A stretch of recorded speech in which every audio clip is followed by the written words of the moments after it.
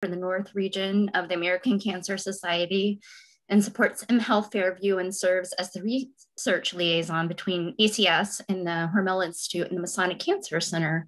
Um, thank you, Pam. We really appreciate it. I'll let you introduce Dr. Greer. Well, good afternoon, and thank you so much for, for being here today. I know you're going to find this workshop to be extremely helpful, and so I'm honored to introduce you to Dr. Susanna Greer. Dr. Greer is the Senior Scientific Director of Biochemistry and Immunology at the American Cancer Society. Not only does she speak to donors and volunteers and researchers, she also oversees external partnerships, directs strategic planning and scientific review, and collaborates with, collaborates with our advocacy arm, the American Cancer Society Cancer Action Network, to enhance advocacy efforts of scientists for cancer research. Dr. Greer received her PhD in immunology from the University of Alabama at Birmingham and was a postdoc fellow at the Lineberger Comprehensive Cancer Center at the University of North Carolina. Dr. Greer was recruited to Georgia State University as a Georgia Cancer Coalition Distinguished Cancer Scholar, where she was a tenured associate professor and director of the Center for the Molecular Basis of Disease. In 2012, she launched Greer Consulting, Science Speakeasy, a consulting firm based on facilitating communication between scientists and lay audience based on identification of shared goals, benefit analysis, and non-technical delivery. So thank you again, Dr. Greer, and thanks to um, Masonic Cancer Institute, um, Masonic Cancer Center, and the Hormel Institute for this opportunity. I'm going to turn it over to you, Dr. Greer. All right. Thank you, Pam and Jessica, and thank you to the Cancer Center. I'm so excited to be here. Can everybody see my slides? Maybe uh, Jessica, can you give me a thumbs up if everything's good to go? Okay, awesome. So um, one thing Pam didn't say, which I think is relevant to all of you, is that um, I've been in your shoes no matter where you are in this journey. So I ran a research lab for about 15 years and actually one of my first big grants came from the American Cancer Society. It was a research scholar grant. And then um, once I was a tenured professor, I was a reviewer for the American Cancer Society. I co-chaired a peer review committee and I've been a staff member for ACS for about five and a half years. So no matter where you sit on this spectrum of maybe applying for grants um, and being in that um, uh, really challenging place of, of thinking about funding and wondering about different organizations and which ones you should apply to. Um, or if you have received funding, um, I, have been there. Um, so the goal today is to do something that honestly I wish um, had been done for me when I was thinking about applying for the American Cancer Society grant. And that is that I wish that I knew more about the organization. It's extraordinarily difficult to apply for a grant when you're on the outside. So now it'd be super easy for me to apply for an ACS grant, right? Because I know so much about the ACS. So we're going to take this in several steps. Um, I'm just going to spend a little bit of time talking to you about the American Cancer Society and some resources that I think might be helpful. And then I'll spend some time just kind of explaining to you how we fund grants, what we fund, what we're looking for, and then kind of sharing some inside tips because I found, um, so I've seen at this point thousands of grants or thousands of applications, right, as a reviewer and as a staff member. And typically I see the same kind of first time mistakes over and over again. So I want to keep you from making those mistakes. Uh, you can make new mistakes, uh, but we're not going to make the ones that everybody makes. Um, all right, so I I can only see my screen. Um, so at the end, if you will have plenty of time for questions, the work the workshop itself will probably take a little bit less than an hour and we'll have plenty of time for questions. So if you want to drop things in the Q&A, that's fine. If you just want to uh, come off mute at the end, I think we can do that and we can take questions as well. Or if you have something that's, you're like, you know what, I really just want to ask Susanna, um, my email's at the very end and you can drop me an email. And uh, before I forget, please don't um, make yourself crazy taking notes um, unless that keeps you awake. I'll share my slides uh, with Pam and she can share them with the Cancer Center. So you'll have all this information. All right, so let's dive in. Okay, so let's see. Um, all right, so we'll talk about our research programs first. Um, one of the things that I think it's just super helpful to understand is that the American Cancer Society approaches research in three different ways. First of all, we're pretty similar to whatever the academic department that you sit in um, looks like. Meaning that if you walked into my office, you'd feel really comfortable because um, we do research at the ACS. So we conduct research and then we also fund research. And then we have an advocacy arm called ACS CAN or the Cancer Action Network. So when I say you'd feel really comfortable, it's because when I'm at work, back when I wasn't sitting in my home office, I'm surrounded by other MDs and PhDs and folks with master's degrees, and we are either focused on research that is happening at the ACS or the research that goes out into our extramural program. So we're structured very similar to the National Cancer Institute in that we have an intramural and extramural program. So I will spend barely any time talking about our intramural program just because I want to focus on our extramural program because that's where all of you are going to be um, applying to the ACS. But I want to at least introduce you to our intramural program because there are some resources on cancer.org uh, that would be, I think, exceptionally useful to you. That would have been really useful to me when I was um, a postdoc or a faculty member. Okay, so on the left-hand side of this slide, you can see research that we conduct. And most of that research, so we don't have wet labs at the ACS. So I'm an immunologist. I couldn't have worked at the ACS when I was running a lab, um, but we we have um, the capability to perform large population studies and a lot of data science, which is the research that we conduct. So most of that is in epidemiology and surveillance and survivorship. And at the bottom, you can see that the goal is that we are trying to gain a better understanding of you know, why do we get cancer? Who gets cancer? How can we prevent it? And then in the middle is the research that we fund. And we'll spend all of our time today really talking about that. And I really want to help you understand that um, the ACS, I mean, honestly, if you remember nothing else that I say today, the probably the bottom line message is that if you are doing research that is related to oncology, we're interested in it. We don't fund in a particular area of cancer or a particular population group. We fund across the patient experience, meaning that everything that we fund, either our research inside the ACS or in our extramural program, impacts patients all the way from cancer prevention, right, which is the goal, to early detection and diagnosis, cutting edge treatment, survivorship, and palliative care. So we find, I call that the patient experience, right? How you interact with cancer. And then we find um, a, an incredibly broad um, portfolio within the 300 plus diseases that we call cancer. And then ACS CAN is pretty fabulous because it is our advocacy arm, so our sister organization that is advocating for a couple of things. Um, so increased funding for the NCI from the government, um, which is going to be important to all of our researchers because um, most of the grants that the ACS funds are not renewable, and we'll spend some time talking about today that we fund um, our most of our um, research dollars in the extramural program are focused on beginning investigators. And so that second and third and fourth and fifth grant you get is probably going to come from the NCI. So we want the NCI to have a robust budget. And then ACS CAN is also going to advocate for implementation of policies that can help all of us right to reduce the mortality in our uh, from cancer and our risk from cancer. And a lot of that advocacy work comes from the work that happens in our extramural program right?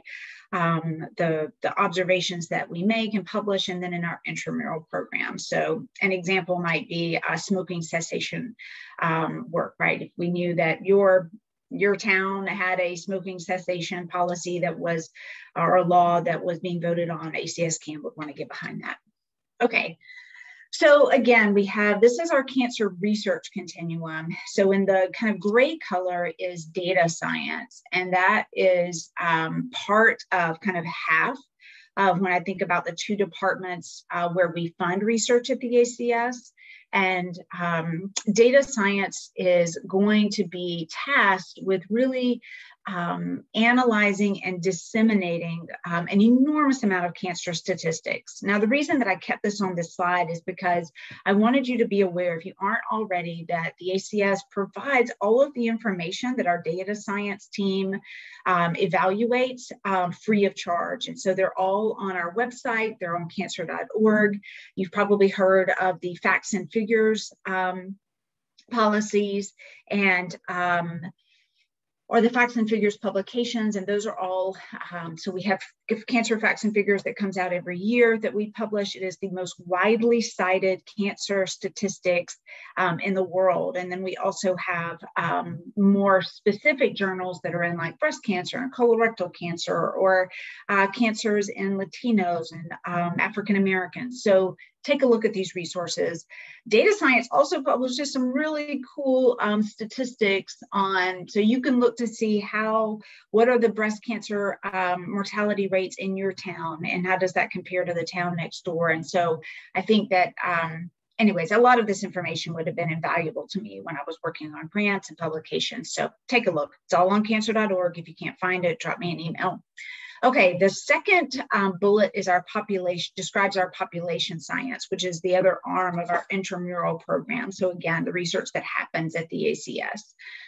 So in population science, these are the largest um, population studies or cancer prevention studies um, that occur in the world. We're on our third one. They have not very exciting names of CPS, cancer prevention studies, uh, one, two, and three, and we're on our third one now. Um, so you've if you haven't heard of them, you've benefited from them. So, Cancer Prevention Study One, for example, was the first um, study that was able to link smoking to lung cancer. So, anytime you ever hear someone from the American Cancer Society, like maybe giving congressional testimony, and they say, according to the American Cancer Society, blah, blah, that comes from our population science data.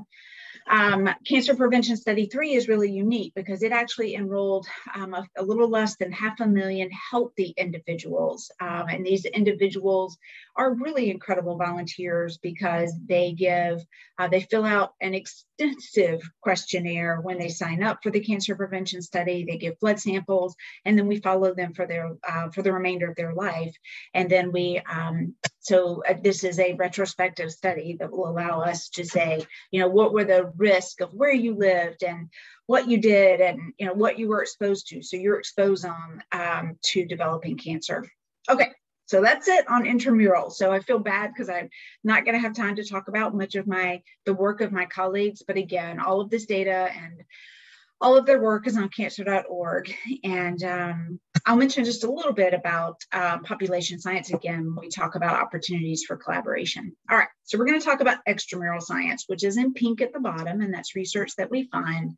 And that is where we are funding um, truly outstanding science, and that is science that spans the scientific spectrum. So not only does it span the patient spectrum, right? So where you, a patient might interact with cancer, and also many, many, many of the types of cancers that we could come into contact with as a patient, but also we're going to fund across the scientific spectrum. So we're going to fund discovery research or basic science, translational and clinical research. And if you were just to take a picture of our portfolios, about 45, I mean, it depends on the year, but um, about 45% of what we fund, I would say, is truly basic or developmental science. Um, we use a really competitive and i think um, of course i'm extraordinarily biased but i think we our peer review system um, is uh, in, uncomparable. And part of that is because when folks in review for the American Cancer Society, they are they feel like they are mentoring and giving back to that next generation of science because uh, we focus a lot of our funding on young investigators. Um, I know I really enjoyed being a reviewer for the ACS. I mean, it's hard work, um, but I also reviewed for the NIH and DoD and other organizations. And at ACS, you feel like you actually have an opportunity to help. So uh, later in our conversation, uh, one of the things I'll ask you to keep in mind is that when you get those reviews back and, and you aren't exactly excited about them, uh, remember that these folks are giving their time, their effort, their volunteers, and they really do want to help uh, make um, the science better.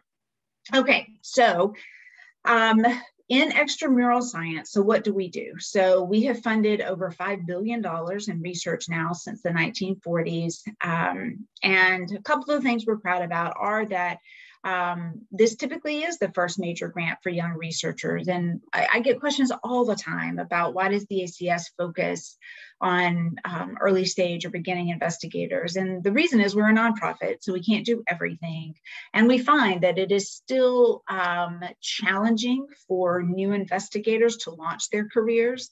Um, actually, in 2021, we will launch a new program that is uh, directed towards mid-career investigators. But honestly, I mean, I I am super excited for folks who to do research on arthritis and Alzheimer's and multiple sclerosis. But I work for the American Cancer Society, and we want the most outstanding scientists to do cancer research, right? We want their research to be applied to oncology, and the best time to catch folks is early in their career.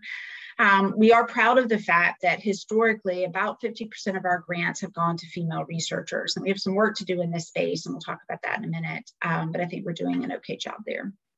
Okay, so we currently have 737 grants funded nationwide for a total investment of uh, 419 million, and you can see how those um, spread out across the country.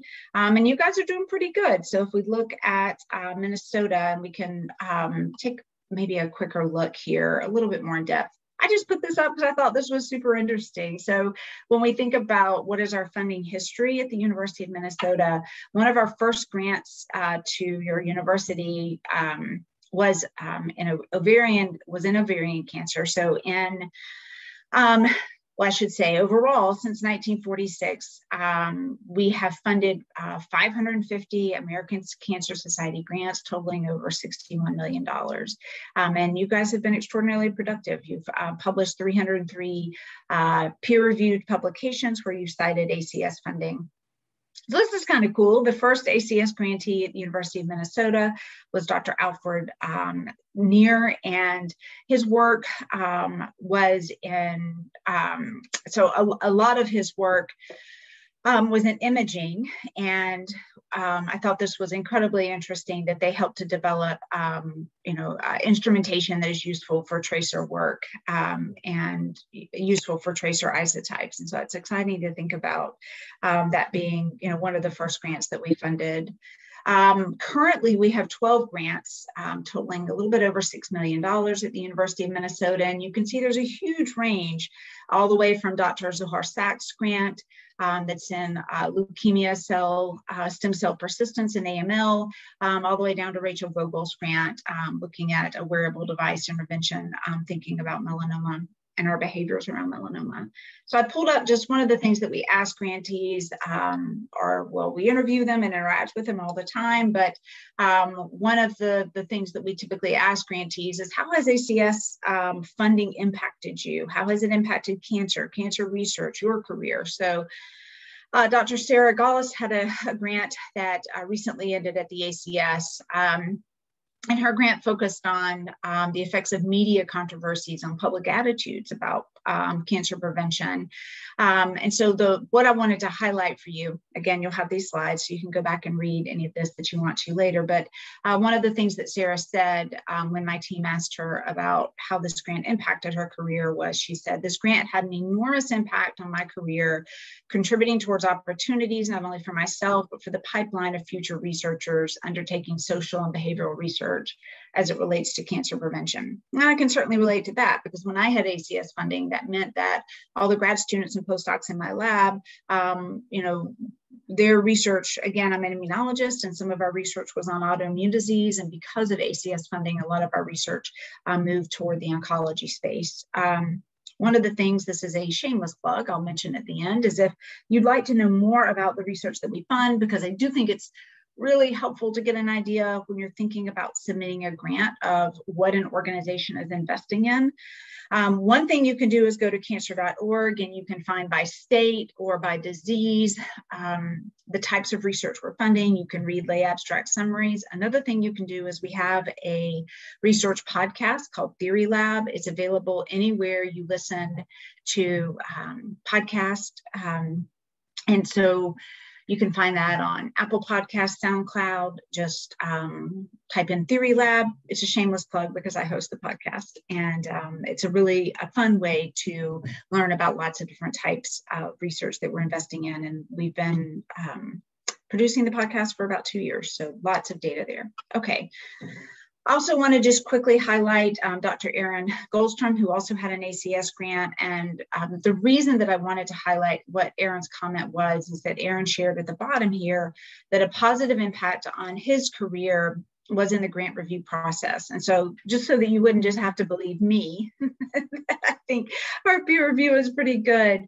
Um, Aaron says that at the bottom, unlike other agencies, the ACS review panel strive to provide constructive feedback and suggestions for improvement, and it helps applicants such as myself improve their research plan, grant writing skills, and lead to better science. Um, and so when you are thinking about writing your ACS grant or when you're thinking about where you're going to submit, um, one of the questions you may have for me is when should I submit my grant?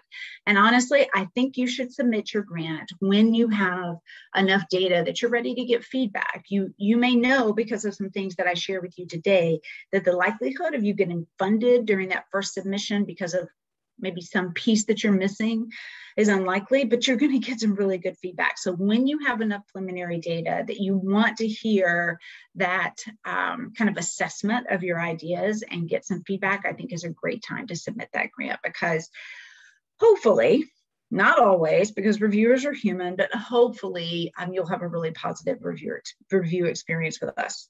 And if you don't, you can let me know. Okay, the final grant I wanted to highlight is Melissa Geller. Um, and again, the, this is just a different type of grant, natural killer cell immunotherapy for ovarian cancer. And I just wanted to um, say that if you, if you are a practicing physician, we also have a goal at the ACS of really helping physician scientists to make that transition from training to running also a research lab and seeing patients, because that is a huge lift. Um, and so we have a specific grant mechanism that's for um, individuals who are actively seeing patients. And I think that that can help um, our physician scientists to really continue um, in their careers and then compete successfully for additional funding. So you can go back and listen to Melissa's comments if you like. Um, she's pretty exceptional. Okay, um, so the last thing that I wanted to share with you, kind of just in a, a big picture space, are our research priorities because I get lots of questions about, well, does my research fit? How will I know, et cetera, et cetera. And I will say this is an evolving process, um, much, you know, like most funding org organizations, um, we will have different priorities that change over time, but um, wanted you to think about, you know, kind of what's happening in 2021. So one of the things that you can do when you want to think about what types of research is the American Cancer Society funding um, is that you can read a publication that came out um, just a couple of weeks ago in CA, and that is, um, let's see, I think it's the titles on the next slide. Yeah, so here's the link here. You can find it. Um, it's a blueprint for cancer research. So one of the questions that we had in 2020 is how can we really assess what the scientific community sees as our most vital needs. Because one thing I'll tell you that we don't do at the ACS is that I don't decide what we should be funding, right? We think that the biggest challenges come from the field. You guys are on the front lines and you know where um, your biggest potential for impact is. So one of the things that we did last year was we interviewed almost 100 experts from across the disease spectrum and really ask them you know what are your biggest challenges and what are your biggest what are the biggest opportunities and publish this blueprint um, so that we could think about and we did focus on the article is not organized by disease, but we focused on asking questions among the top 20 cancer um, cancers that cause death in the United States and um, childhood cancers. And so um, you may be like, well, Susanna, that's all well and good that we can go read this article and see what are the biggest challenges and opportunities as the ACS sees them, but what are you really funding? Okay, so this is the data, and this is from 2019. I don't have the data from 2020 yet. And this data actually comes from you. So when you apply for a grant from the American Cancer Society, um, you are asked to say, um, my research is 20% related to prostate cancer and 80% related to colorectal, or my research is 100% related to lung cancer, or my research is actually related to all cancers. And that might be where you sit if you're in, you know, some really pretty basic science area. So based on our applications that we received in 2019, our funding um, looks like this. So you can see that 20% of our applicants who were eventually awarded grants to the ACS said that their research applied to all cancers.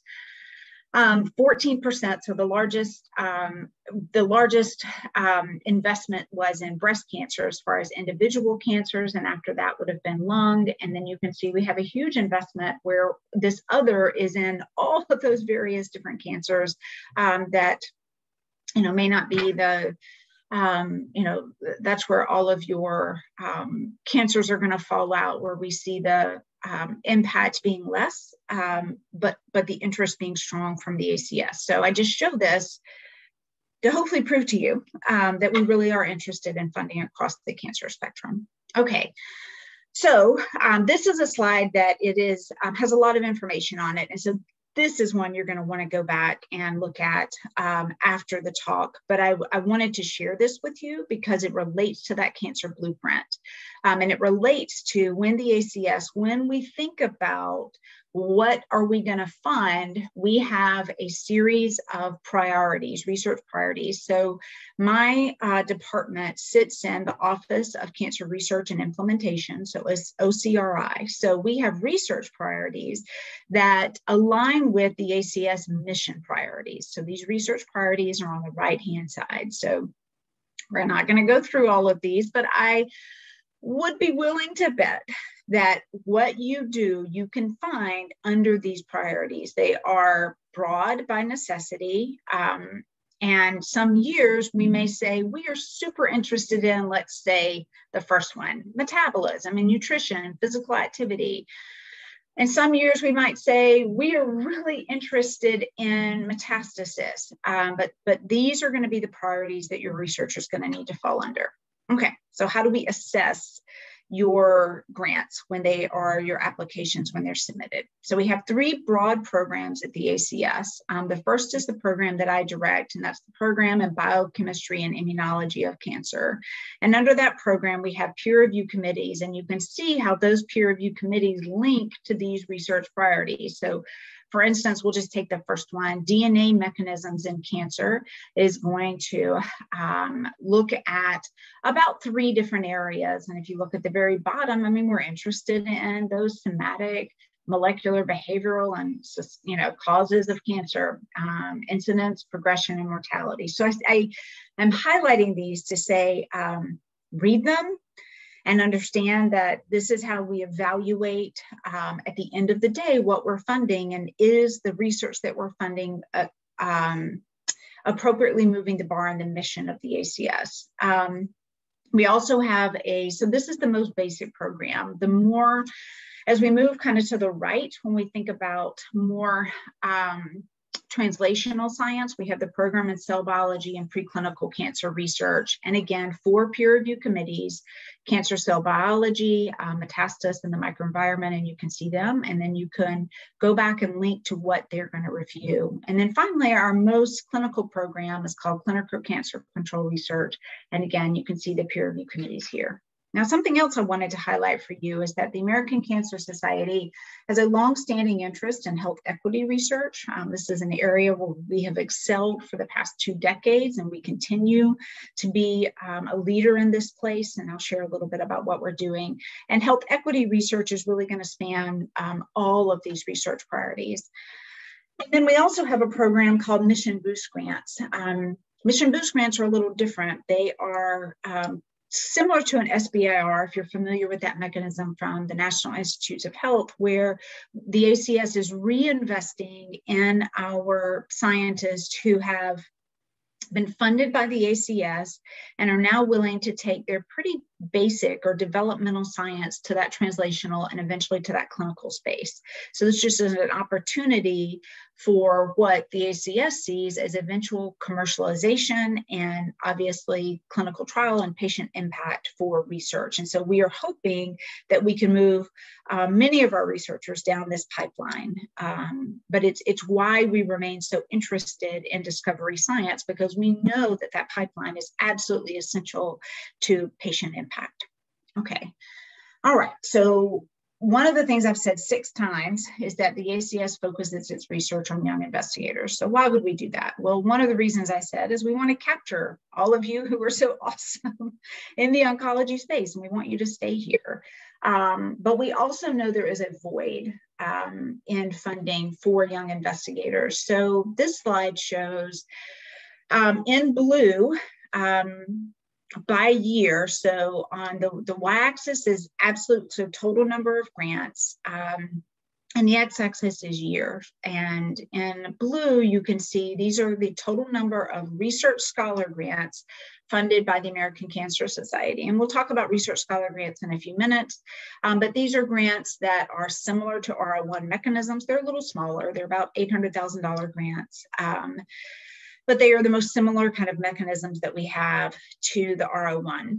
In red, you can see NCI funding of first time R01s. So here to me is what is pretty significant about why the ACS should continue this emphasis in funding early stage investigators. And that is, so if you look at, so I can't um, my own big head is blocking this for me, but I can see up to 2016. So in 2016, you can see that the NCI funded 158 first time R01s, while the ACS funded 79 research scholar grants. Um, now, that should be more significant to you because our budget in 2016 was about 160th that of the NCI.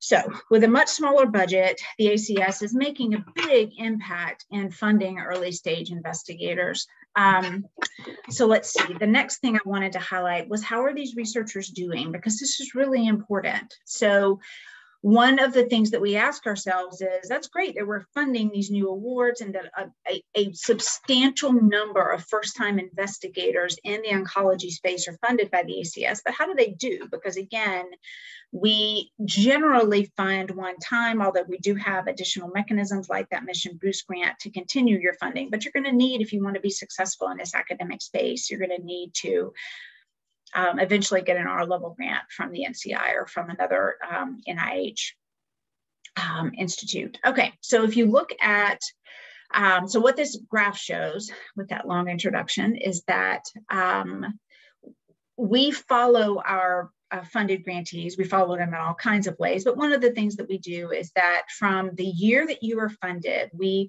look to see within 10 years, have you gone on to receive R level of funding um, from the NIH. And so the most recent data, of course, that we have is from 2010, because those uh, that would be data actually for our 2020 cohort.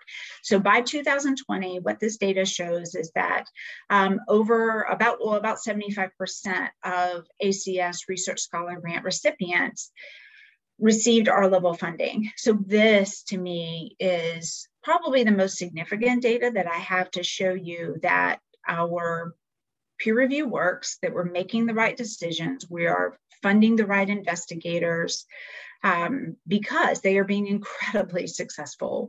Uh, this is also data that um, our grantees can use when they go up for tenure uh, to say, listen, this research scholar grant is really going to help me and statistically speaking, going to help leverage me to the next point in my career. Um, the other thing about this data is that we weighted it against ourselves. So this doesn't take into account a research scholar grant recipient who maybe stayed in oncology but went to work in biotech or went to work for pharma or became a, an advocate for cancer or uh, became a science writer. So uh, these are actually folks who went on to receive R01. So this is pretty amazing data. Okay. All right, so one of the things I wanted to leave you with, and then we're just going to talk about a few um, mechanisms, specific funding mechanisms that I think are relevant to the group that's assembled today, is equity. So how are we doing in this space? And I think there's good news and bad news here. Okay, so some of the bad news, um, none of this probably comes as a surprise to anyone who's listening. If it does, I'm glad you're listening. so, women in academia in the United States are less likely to mis- receive uh, tenure than their male counterparts. They are more likely to hold lower ranking positions. Um, they turn, tend to earn less than men at all academic ranks. And this one is specifically um, striking to me that if they are married with children, they are less likely than married, married men with children to obtain tenure track positions. This came um, from a study in the Lancet, but there's unfortunately plenty of other data to back this up. Okay, so one place that I think we're doing an okay job is here. Um, and that is that our gender breakdown um, looks pretty equitable. So if you look overall from 2009 to 2018, so we took a 10 year kind of snapshot, um, we had 47% of our applicants were female and 51% of our grantees. Um, so you can see this, uh, this is a complicated slide. So we'll just start over here with 2009. So you can see that we had 936 applications from men, 796 applications from women. We funded 130 grants to women, uh, to men. We funded um, 164 grants to women. So in 2009, that left us with an overall success rate of 20% for women and 14% for men. And you can see those numbers are um, reasonably similar across the board. So I think that's good news. Um, at least it shows that we do have equity um, when we are undergoing evaluation of grants.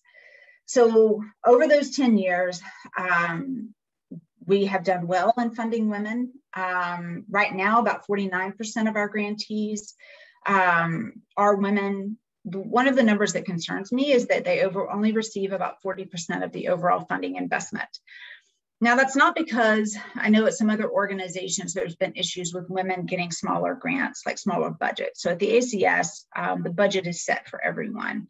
One of the challenges, though, that we have at the ACS is that we do have more women applying for like postdoctoral fellowships than some of our larger grants, like the Research Scholar Grant. Um, so one of the things that we need to do is that while we have an overall good success rate um, for women, in fact, it's higher, I think, in every year than for men, we need to encourage more women to apply for these larger grants. So it's a pipeline issue.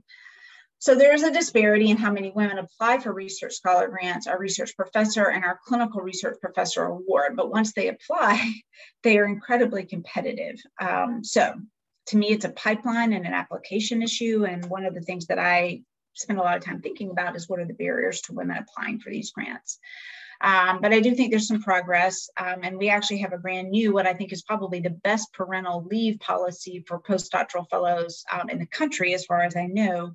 Um, this is parental leave. This isn't just for women, but if you adopt, foster, or have add a child to your life uh, during your postdoctoral fellowship, we will pay from four to, to 12 weeks, so a minimum of four weeks, a maximum of 12 weeks of leave where you can be spending time learning how to be a new parent um, away from the lab. That's a requirement. You have to be away from the lab. And then we will also extend the postdoctoral fellowship by that amount of time so that the time that was spent away from the lab can be made up and you will have the full um, experience of the grant. Uh, that just went into effect in January of this year. And as I said, I think it's the best policy in the country. Okay, um, another striking concern is the lack of diversity in health sciences and biomedical research. Again, this will come as a surprise to no one in this room. If it does, glad you're here. Um, we know that um, Many minority groups, including African Americans, um, Alaskan Natives, Hispanics, and Hawaiians, and other specific Pacific Islanders, are, are um, strikingly underrepresented um, in health related sciences. Um, there is a racial gap um, in NIH R01 funding. Um, and it is a different challenge at the ACS, but but but this is a challenge for all of science. Um, so at the at the NIH, Black and African American applicants um, are 10 percentage points less likely than white applicants to be awarded IR1 funding. At ACS, our application, again, the success rate is equitable. What is not equitable is how many um, underrepresented minorities are applying. So um, as you can see, these numbers are really small and the numbers of applications that we're getting. So um, underrepresented minorities only made up 6% of our applicants. Um, and that was looking at Black and African American, Hispanic, and Latino 3%. So a huge pipeline challenge. And so we have a number of um, programs that we are putting into place to, to help here. It's not going to solve this situation at all. Um, we have a ways to go, but I'll, I'll, at least share a couple of them. So we have a diversity in cancer research program that's been ongoing, but we are expanding it um, to really think about um, the workforce. So I've told you that for 20 years, um, we have funded research that is in health equity. Um, so now we are really focusing on, on workforce. Why, why do we have so few applicants for these grants? So we have a diversity in cancer research program. We are currently launching, launching diversity in cancer research um, internships. These are for undergraduate students. This is actually a fully funded program that we hope will fund, should fund a thousand of these internships over the next 10 years. Um, we will start in 2021 diversity and cancer research institutional research grants, and we will also begin to integrate with um, the ACS intramural side in the population science and thinking about their disparities cohort. So stay tuned to that. Um, if this is an area of interest for you, please email me and I can get you in touch for the right folks. Um, but one of the messages that I wanted to share is that, you know, we have to have an inclusive um, research workforce. If we don't, we are losing out on so many creative and innovative people uh, to help us accomplish our mission. So uh, just know the ACS um, 100% um, thinks that equity is incredibly important, both in diversity, um, both from um, a, a, side when we're thinking about uh, racial groups and gender Okay, so why should you apply? All right, well, the bad news is cancer is going to impact all of us. Um, the great news is that we really do help you at the ACS translate whatever you're doing um, in your research space into impact.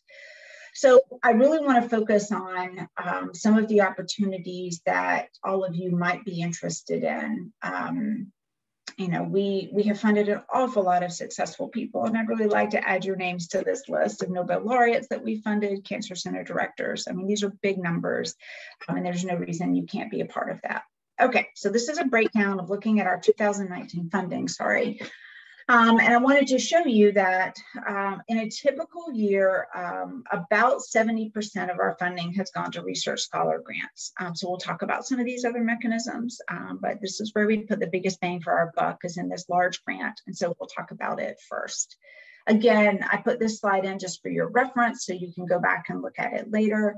Um, but this slide outlines the grant mechanisms that I thought would be most interesting to this group. We, we we fund lots of grants at the ACS, but this one I think, or, or this group of four is probably going to be the most interesting for you. So um, postdoctoral fellowships gives you the eligibility, the term, the award, and what's the percent effort for a postdoctoral fellowship, a clinician scientist development grant, a research scholar grant, and um, an internal, um, sorry, an institutional research grant gives you the submission dates. So um, maybe if you work in the grants office, you can print this off and put this on your wall. We'd love to have more of these grants in every category from um, your university. Okay, so we're not going to, I'm not going to, when I talk about these grants, divide them by program because each of these programs, so remember I direct this program in green, the biochemistry immunology of cancer is the most basic program at the ACS.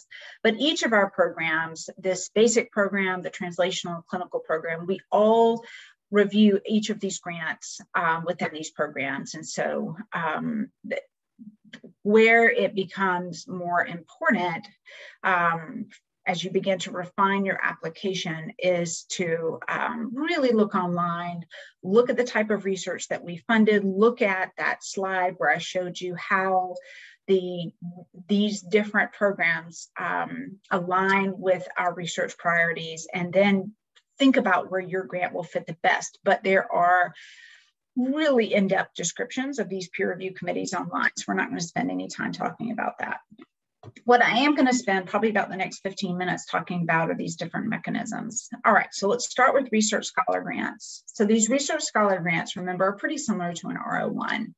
Um, the eligibility has been extended, so you can be a PI for, or you can have your um, independent research position, so your assistant professor position for up to eight years. If you're actively seeing patients, that actually gets extended to 10 years and still be eligible for the research scholar grant. The initial award is for four years. Um, generally, you can be eligible for a one year no cost extension, and that's um, the award is up to $200,000 plus 20% indirect cost. Okay, so when reviewers are looking at your research scholar grant, and here are some of kind of the first time mistakes that I see folks making.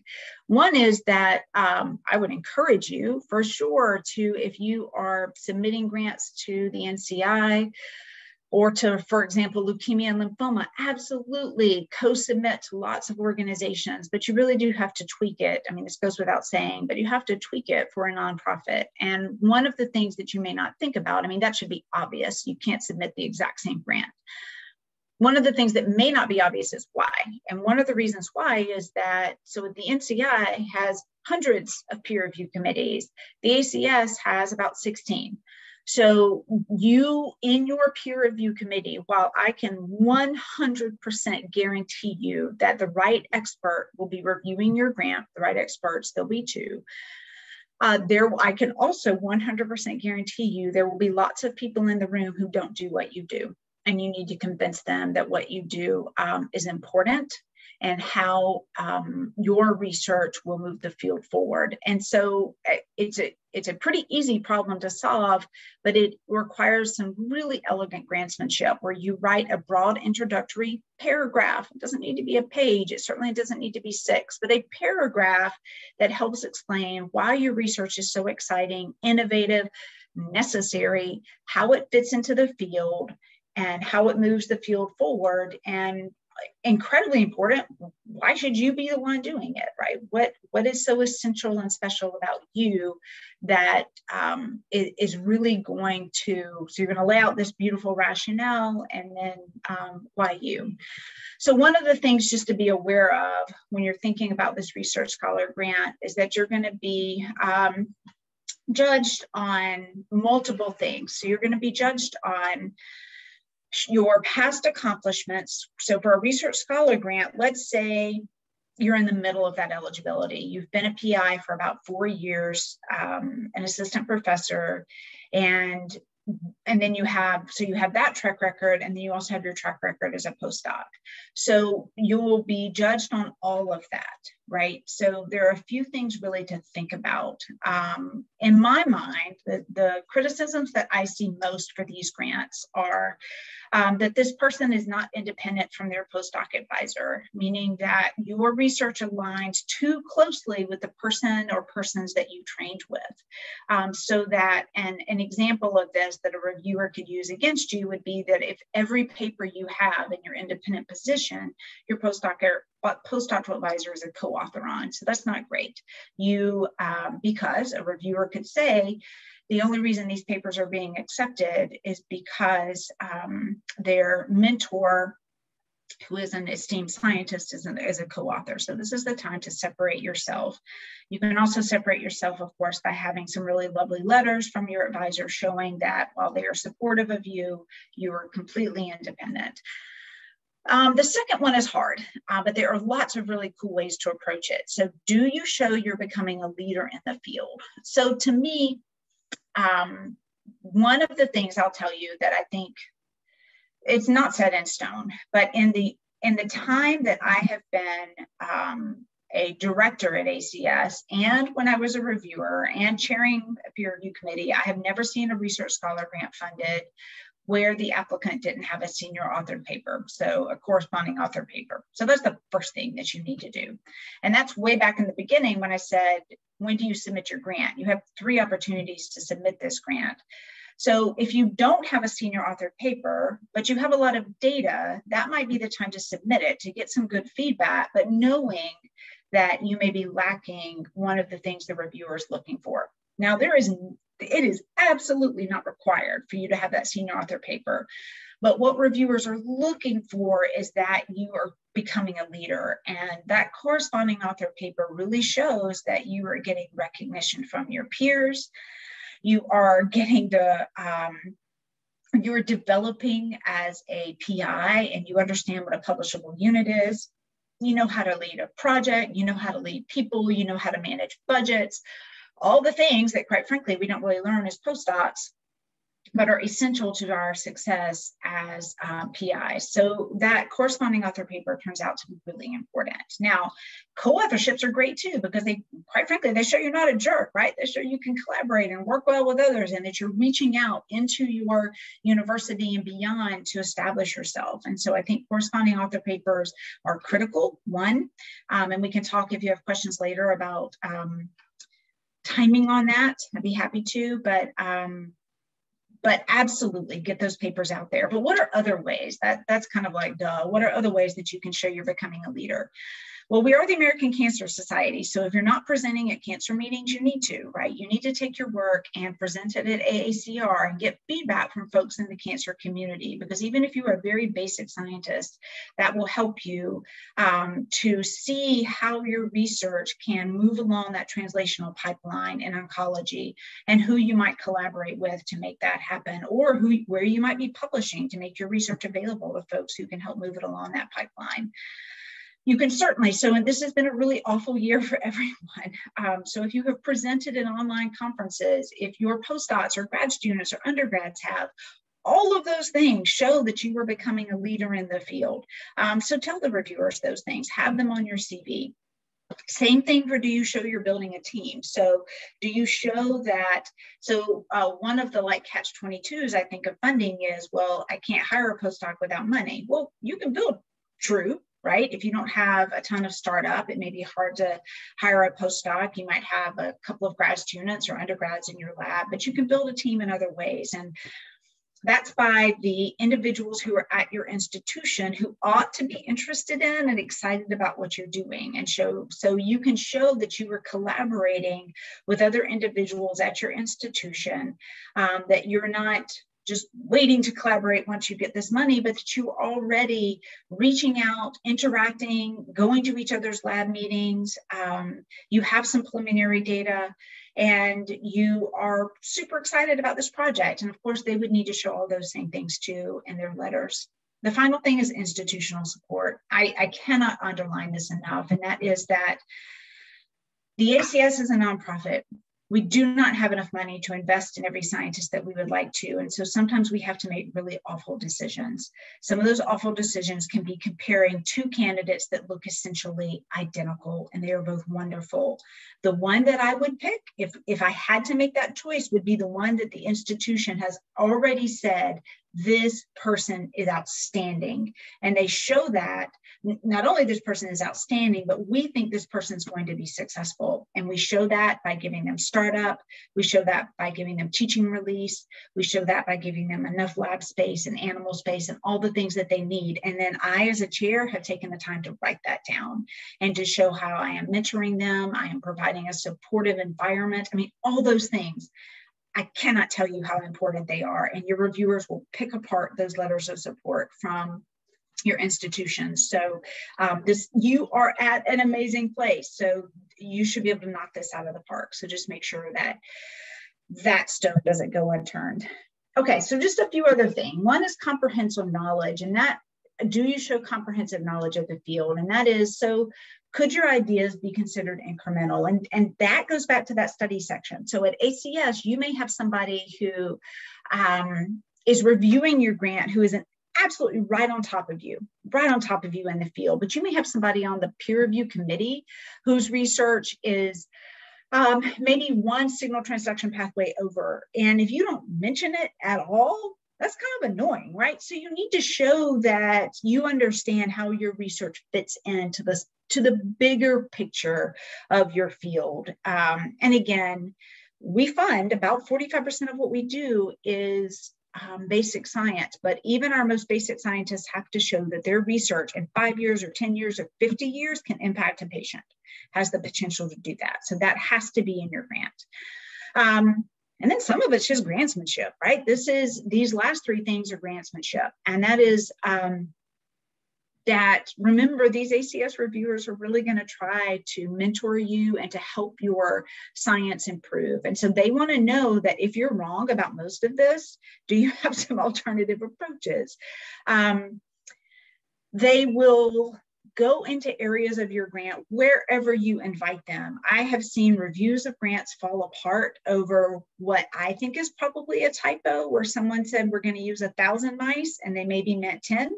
Um, but again, if you're being compared to someone else who has applied who is in all other circumstances equal to you and you made a careless mistake in your budget the reviewer can say well, do they do they really have did they put the time and effort and energy into putting forth a great grant application? Do they know how much it costs to run animal experiments? Do they know how much this core facility costs? Right? All these things. Um, so just know that your reviewers are going to get into the weeds of everything and especially where they find mistakes. They're really going to dig in there. So just consider what you write um, really carefully. And the last thing is just every element of your grant should be in sync. So by this i mean that if you were to say you know i'm super excited about collaborating with dr. Greer. She's going to provide x y and z reagent for us um, and X, Y, and Z animal model. And then if I were to write you a letter of support and mention none of that, that doesn't look great, right? So everything has to be 100% in sync.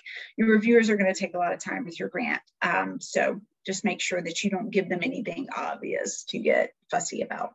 Okay. I want to talk about clinician scientist development grants. The reason there's two circles here is that these grants used to be called mentored research uh, scholar grants. Um, and they, but the name changed last year to Clinician Scientist Development Grant. So in 2019, um, it's about 10 or 11% of our budget, which is true for about every year. Okay, these grants are different, right? These grants are grants that are intended to enable clinician scientists um, to focus on research, so to have dedicated time it requires a 50% um, dedicated time. The budget's $135,000 a year, um, and um, the grant can be up to five years. And so we really want to help these junior faculty. Um, this is a, unfortunately, a dwindling, dwindling population um, of physician scientists, um, and we want to preserve uh, these folks because they provide some incredibly unique research. Okay, so what are the critical elements? So everything I said for the Research Scholar Grant applies here, but there is one other section. So with a caveat that we don't expect, or there's not the same level of expectation from reviewers on publications. So a clinician scientist may have not done a postdoc. They uh, may have had limited time in a lab, and so they may not have um, those uh, corresponding author publications. They should certainly be published and show that they have the capacity to do this research, um, but um, a little bit less of an emphasis on productivity. So, and that's simply because of the time spent in clinical training. So the part that is different here is that there is the inclusion of a mentoring plan and the mentoring plan is going to be pretty similar to the mentoring plan that you would include if you were writing a postdoctoral fellowship. Um, so the critical things to think about is, um, did I choose the right person, basically? Have I chosen a mentor who will help to write a development plan that is absolutely specific to me, right? This can't be generic. This has to show how um, Susanna Greer is going to move through this training and either through classes or experiences or collaboration, develop the expertise that I need to be independent and to be competitive for a research scholar grant and an R1 at the end of this funding period. Um, but it should be honest, right? It should be recognized what are the deficiencies that I've had. So, um, you know, maybe I didn't have any, uh, maybe biostatistics is a real deficiency for me. So how are we going to fix that? What experiences will I have during this um, fellowship to help me grow in that area? And then how is this mentor and mentoring team is, is highly appropriate going to help um, me to progress and how again is the institution going to invest in this applicant um, in time effort and opportunity um, in this fellowship? Okay last thing i want to mention are postdoctoral fellowships. On average they make up about 10% of our funding. We fund a ton of postdocs. They're just smaller grants Um, so they're quite different, right? This is a training grant. Um, these are for new PhDs who can have up to four years of postdoctoral fellowship experience. The awards are for two to three years. And we have, um, thanks to my colleague, Dr. Nicole Lapanic, some really beautiful eligibility um, charts on cancer.org, which you can use to see if you are eligible for any of these grants, but we'll help walk you through um, the eligibility from some of the more complicated eligibility uh, scenarios, which I think are the clinician scientist grant and the postdoc.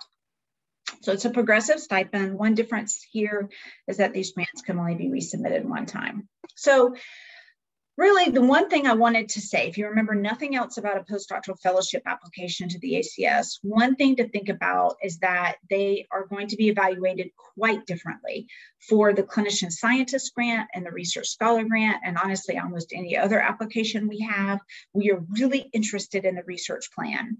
Um, we are obviously interested in the researcher as well for these grants, but for the postdoctoral fellowship, there are four areas that you will be evaluated in, and they are all equally weighted. So the first is going to be you. Um, so that's really no different than the other grants, but the weight here is um, is higher. So we want to know how um, what have you been up to? What did you do as a grad student? And if you've been a postdoc for a while, what have you done as a postdoctoral fellow? So I cannot underline enough how important reference letters are here. They are absolutely critical. Um, so I a good reference letter can knock it out of the park and a bad one can absolutely tank an application. So just make sure the people who are writing you letters are invested in you and your success. Um, these reference letters should show what you did in grad school, what you've done as a postdoc, why you're a really good fit for the ACS award. Uh, this is a prestigious fellowship and um, should show that you were truly motivated for cancer research. So that's going to be the first thing. Um, and we can talk about if you've had some challenges around productivity and things like that, um, how might you deal with that in your application? But 25% is you. 25% is going to be your mentor. So that's basically how good of a choice did you make when you chose your mentor? So your mentor will also be evaluated on their accomplishments. So how um, you know, what have they done in in their area of expertise how fit are they to be a mentor uh, what does their funding look like the acs postdoctoral fellowship only provides for your stipend so somebody's got to pay the, the the rent money to run your experiments. So, is your um, mentor fully funded for the time of the postdoctoral fellowship? Had they mentored anybody else? It's okay if they are a brand new mentor. So, I was a young um, mentor for uh, postdocs, but I had to show that I had brought in other individuals to help mentor my postdocs who had more seniority than I did. And so putting together a mentoring team is just fine. In fact, I would recommend it. Very few of us can get everything we need from one person. Um, but make sure your mentor's CV is updated and, and that they really shine and showcase all the great things that they're doing. The third thing is going to be the mentoring plan. So, the mentoring plan is basically the environment. So, where are you going to be, and how is this lab, institution, department going to help you to transition from being an outstanding postdoc to an outstanding PI? So, the mentoring plan should not, number one, be written by you. If it's written by you, the reviewers will be able to tell. And it just really looks bad, right? Because if you have a mentor who's invested in you, the least they can do is write it down how they're what they're going to do. And honestly it should be more than i'm going to meet with susanna once a week i'm going to send susanna to a meeting or a virtual conference. Yay all postdocs should be doing that. So what is it about susanna that is so exceptional that i chose her for my lab? Why is this a good organic fit? And then where are how, I guess I should say, how am I as the mentor willing and able to use my expertise and success to help Susanna fill some of the voids that she doesn't have in her training so that she can be successful? So, what are the career development pieces?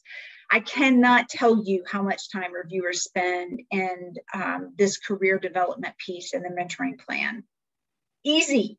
You can be amazing and have a great grant. You could have published six nature papers as a postdoc and grad student and have a research plan that blows them out of the water. If the mentoring plan is terrible, you won't get funded. So spend some time on it. All right, uh, last but not least is the research plan. So here it's 25%. So of course it needs to be innovative and exciting. Um, it also needs to be reasonable, right? You're a postdoc, so it the um, grantsmanship is essential here. So meaning that you need to give space and time for failure. So um, those alternative approaches and strategies are really important in a postdoctoral fellowship. And I can't believe I wrote this down, but it's true. We've seen so many grants that aren't focused on cancer. And we're the American Cancer Society. So you shouldn't make your reviewers guess as to how this grant will impact cancer, right? How it's going to move the bar in our mission probably you should have the word hypothesis in there more than once, right? So, I mean, these are just basic grantsmanship skills, but they're the skills you develop as a postdoc. So, don't use your first submission to develop those skills. Have other people read your grant application and to make sure that it is um, really solid before you submit it. And the other piece is the reasonable piece, right? If you propose a 10 year project for a three year postdoc, you're not going to get funded. Okay, last thing. The ACS uses lay summaries um, in addition to technical abstracts. Um, those lay summaries are only going to be useful if they are written for someone without a scientific background. Um, the American Cancer Society will assign two scientific um, and or clinical reviewers to your grant and um, one what we call a stakeholder reviewer which is someone who has had a significant cancer experience meaning they are a patient a survivor a caregiver or they have lost someone to cancer. Um, so I, I cannot emphasize enough that this should be written for someone who doesn't know what you do or care and it needs to blow them out of the water. So it's really important I've already told you the reviewers are going to get in the weeds of your grant. They're going to have a super good time. So just make sure it's a fun experience for them. Don't invite them in with some, you know, just kind of careless mistakes. And the last thing is, and I'm trusting you guys here, even though I can't see you, I'm going to give you my email address. But I don't want you emailing me the day you get your reviews back because you may not be happy. Sit on them for a while. And then if you want to email me, fine. Um, or if you want to email someone on my team, but the biggest piece of advice is the reviewers, even though you may not agree with them, they really are trying to help. Okay, so this is our cycle. So we have a grant deadline coming up in April. That means the peer review will happen in June. We have a second level of peer review called our council, which actually draws the pay line in September, and those grants will be funded in January. So I encourage you to apply. Um, the last two things I just wanted to highlight, and then I would love to take some questions. Sorry, I went all over. Is that once you are funded by the ACS, I think you all will be, we have some amazing experiences for our grantees. One of them I just wanted to show you here is um, you would be invited to join Theory Lab, which is, I'm not on Facebook, but I I think kind of like Facebook for nerds, for kids or nerds. So it's a closed community for ACS grantees and reviewers. And it is amazing because we provide workshops, we provide seminars. Um, it's a way for you to find resources like if you need a cell line or if you're really after an animal model or you have a piece of data you want somebody to look at. It's also a place where uh, we provide funding. Um, we provide TLC grants, um, which are not small, $60,000 grants um, for a new collaboration. Um, so fun things happen in Theory Lab. And the last thing I want to give is just a shameless plug for the podcast. Um, would love for you to listen to it and um, you can get to know us a little better.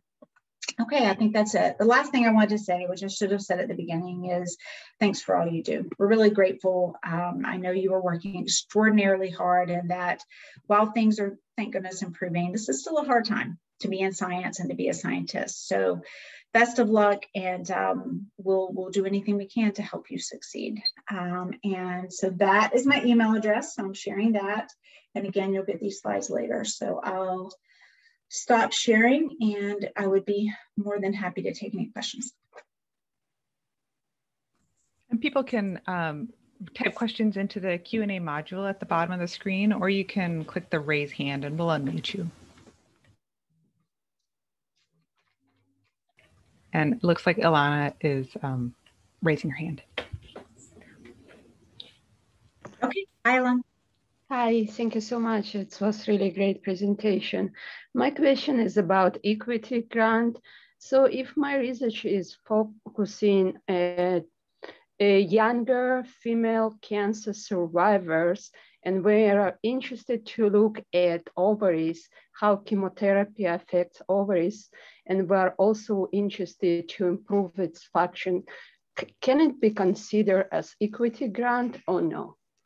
Yeah, that's a great question. So um, Lana's question is around equity and what do we consider? So my global answer is yes. Um, what I would encourage you to do is to drop me an email and I'll put you in touch with the pro. So that that research would not fall into my program or my team's program, but I can put you in touch with the managers and you'll have an opportunity to kind of run your ideas by them. And I would encourage anybody to do that. Um, but the global answer would be yes. Thank you. Absolutely. Great question.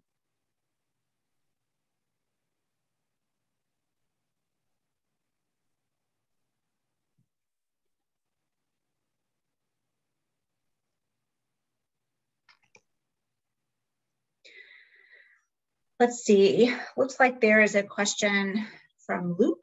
Hi, Luke. Um, do most funded postdoctoral ACS grantees have senior mentors? Um, so we'll start with that. If you're a junior PI, would you encourage your eligible postdoc trainees to apply for ACS grants? Yeah, so it's a great question. So I would say no to the first answer. I mean, to the first question, do most uh, postdoctoral ACS grantees have senior mentors? No, not at all. Um, however, you are, because there is a unique benefit, right, to having a young PI in your lab because you're just there more, right? You're on the bench and you're giving that hands on feedback. Um, the challenge is, of course, that you're going to potentially get that, or your postdocs, when they apply, will get that review of the mentor is very junior, right? so the way you're exactly right, the way to deal with that is to put together a um, mentoring committee, which I would 100% encourage. In fact, I kind of encourage that for everybody.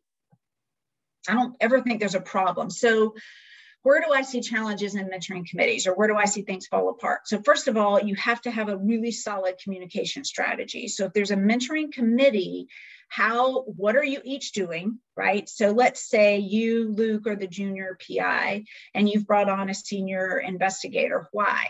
Is it a particular, are they, um, you know, do they have success with the technique?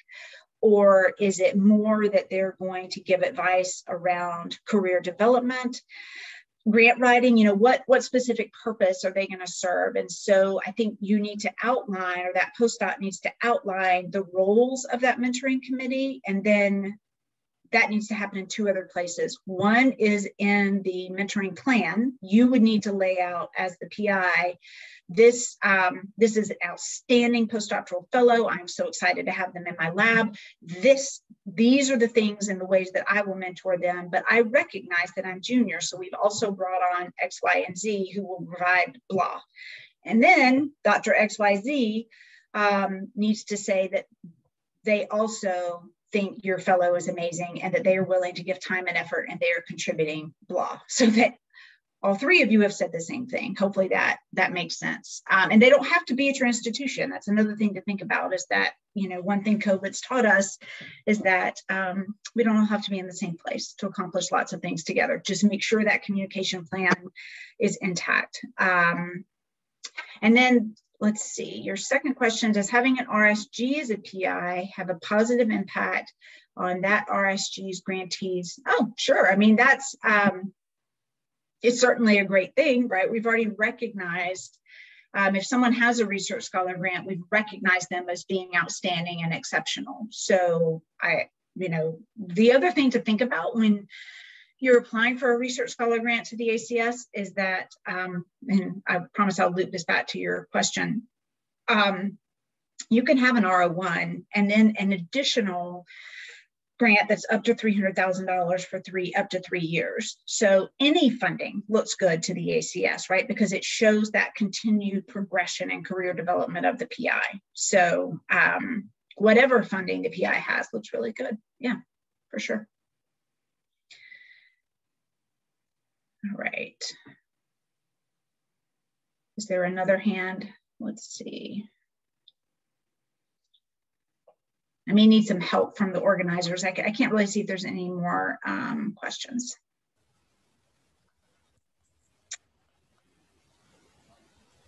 Uh, we just, uh, Dr. Lee, I just unmuted you. Uh, hello, I have a question about the research scholar grant. So, so the PI should be a tenure track position or any like, you know, junior PI, like uh, assistant professor level?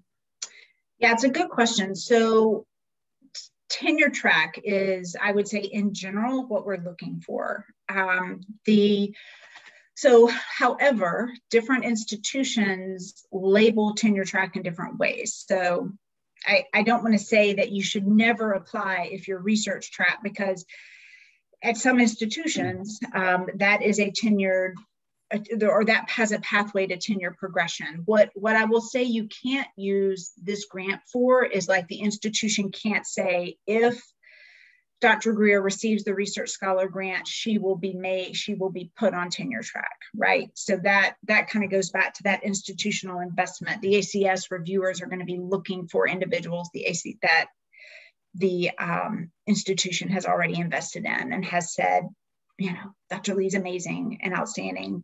Um, we think so, and we also want the ACS to invest. Does that answer your question? Yeah, yeah. Okay, thank you. Thank sure. You so Let's see. Um,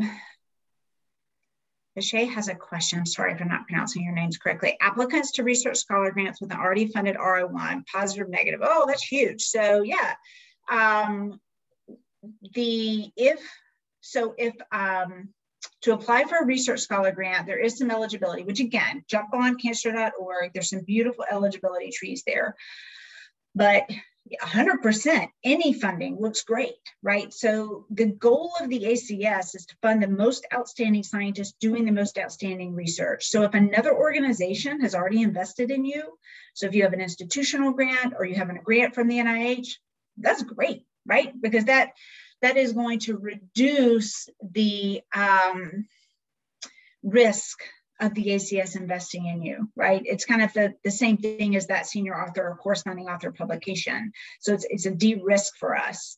Where you flip to the other side is if you have two R01s, because once you have two R01s, amazing, but we no longer think you need to be launched. But as long if you have one R01 and you or or equivalent grant, you can have that and an additional $300,000 in funding for three years and you're absolutely still eligible. And yeah, it looks really good. What I would be really careful, this isn't what you asked, but since we're here, I would be really careful to spell out the overlap in your, so when you talk about your current or pending funding, and this is for anyone, don't give the reviewers anything to guess about. Go ahead and tell them, these are the aims of either my funded or pending grant. Um, this is why it either A, so if it's funded, there is zero overlap with the ACS application, or if it's pending, there is overlap and I would accept on an either or basis, or there's zero overlap and this is why. So just don't because they're going to they're going to look right? They're going to get on grants.gov and go look. It doesn't matter if you put it or not but you you need to go ahead and spell it out so that um, and that's very true for post for postdoctoral applicants too. Make sure that you have declared your lack of overlap from your pi's funding so just spell it out for them, make it easy. Oh, one thing you can do is when you publish those papers, um, tell the reviewers how those publications um, don't accomplish the aims of the grant, right? Because that's not the goal, but support the aims. And it could be something you might not think of, like a technique that you've published, or a collaborator, or a you know some some way that this has moved your research forward, even because lots of people will say, well, Susanna, I have a paper, but it's unrelated because I have a different project. Well, of course, we all have two or three or four projects in our lab, but they're probably, I mean, you can find something, some way that this publication has um, enabled this study or impacted this study. I would definitely talk about that. Okay, uh, can you speak to the funding forecast for 21 deadlines for ACS? Um, I asked if submissions during the past 12 months were impacted. Yeah. um, speaking as a fellow that received an outstanding score that's now in limbo with the pay if designation? That's a great question. Yeah, so um, the ACS, like all nonprofits, I mean, well, and everybody on the planet was certainly impacted by COVID. Um, so for the first time ever, to my knowledge, we canceled peer review in October of 2020. We did that for a couple of reasons. The first is that we did not know our budget. We had a fundraising campaign that ended at the end of Q4 in 2020, but we weren't going to know the outcome. And it was dedicated to research. We weren't going to know the outcomes though of that campaign until um, now, basically 2021. And so we didn't want to waste applicants' time and we didn't want to waste reviewer time. We did review postdoc grants in um, April of 2020, and we reviewed a couple of smaller mechanisms, but for the most part, uh, we had a much smaller peer review. So First, congratulations on the um, PAYIF. That is significant. We do fund a substantial number of postdoc grants out of that PAYIF category. Um, you can always ask me about that offline. You probably know just as much about it as, as I do, but that is by donor um, discretion. So your question was about pay lines. Um, so we expect our pay lines to get back to where they were pre-pandemic. So we're looking for good pay lines in 2021. Now that's with the noted exception that I don't know how many applications we'll get, uh, but our funding is is back to because of the enormous efforts by my development colleagues, whom I am forever grateful for, and the enormous uh, contributions of ACS uh, donors. Um, yeah, 2020 is looking, 2021 is looking much better. 2020 was terrible. So feeling very grateful about that. So submit your grants is my, what I would encourage you to do.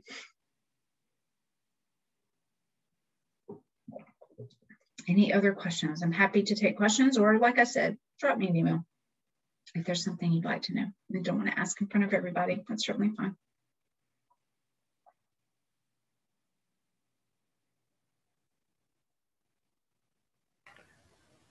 Okay, well, I guess if there aren't any last questions popping up, um, we can just wrap it up. Thank you so much, Dr. Greer, for uh, excellent uh, conversation and excellent presentation. I think everybody's going to find the slides especially uh, useful when we send them out later. Absolutely. Well, it's nice to kind of meet you all. Maybe someday I'll get to see you in person, but in the meantime, good luck and um, hope you have a fantastic rest of your day. Thanks for having me. Thank you. Thank you. Thank you very much on behalf of ACS for uh, being open um, and available to do this. It, it means a lot. So thank you. Absolutely. All right. Look forward to seeing your grants. Bye-bye.